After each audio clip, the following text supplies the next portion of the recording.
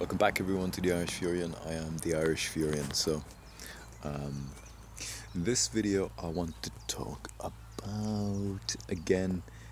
It is uh, a neighbor, neighboring guy uh, of the family where my family uh, lived and now somewhat lives.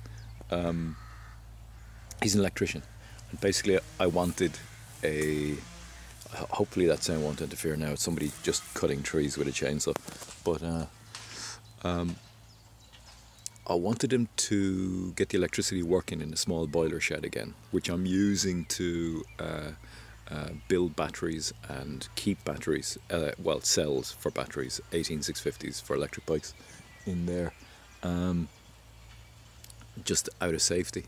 Uh, probably not the best environment in moist when it's moist and all the rest out, and and uh, probably doesn't do very good. Not the ideal place really, but anyway, my point being that uh, I asked him would he hook up the electricity again because the house uh, was changed a little bit when there was um, solar panels put in and air to water heating uh, in the family home and. Uh,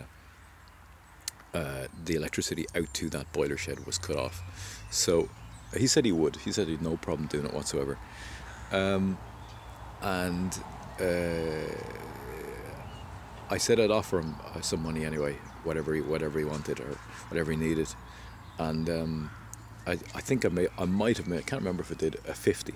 So I, said I'd offer him a fifty for basically uh, just looking for the switch to turn it back on again. Now he's a nice enough guy and all the rest of it, and, and um, but he never has. The last time I saw him the second last time before the last time I talked to him, um, or the last time I saw him, he said he'd he wasn't forgetting about me, um, and that he'll do that, and that's no problem. And I didn't go after him; he came over to me, and so since then he's passed me a number of times and hasn't done it. So I'm just my pattern recognition machine is going. Why isn't he doing this? It's very simple. He's a neighbour, like he's he's directly beside the the family home he can do it anytime. Anytime he's free at all, an hour or two, just find a switch, switch it on, or see what needs to be done. Um, not a big job at all. I can really do it myself if, if I knew what to do. Um, but uh, I'm, I, I think the wife is quite strong. She's quite a strong character, a bit masculine, bit of a masculine character. And so I'm just wondering, like, has his wife told him not to do any jobs like that for such a low amount of money. Um, use your time for for making money, which brings in money for the family and all the rest of it. That's, and that's fair enough. But there's there's something else here in this, and that's that women will never understand the currency that men have together between each other in trust and in um, displayed uh, help and uh, resource for each other. You know, when somebody proves their worth uh, as a man in a, in, a, in a community of men, that person is seen as valuable and then is desired to be kept around. Now, to a woman, that may seem harsh or cruel because it's all about feelings and that everybody should be equal. That's a motherly instinct, that's a maternal instinct. It's not a male instinct. It's not a male character trait. So the point is that men men seek um,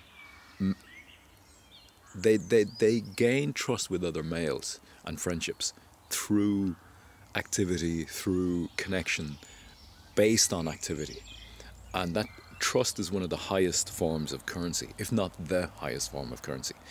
Paper money and, and shiny metal coins is, is representation of currency.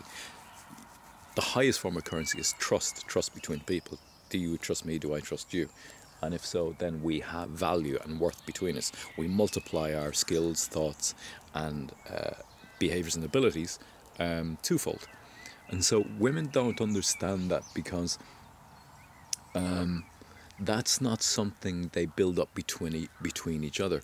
So, this is why in Christianity and Islam, the woman taking place as the head of the household and making those kind of decisions is not a good thing. This is why I think Ireland failed because the Irish men they defaulted to their wives' whims and not didn't hold the ground as the heads of the household overall, uh, even on these things. They don't have any moral or uh, uh, ethical law in other words, God's law by which to default to um, in regards to understanding where to draw the line and, and not to give.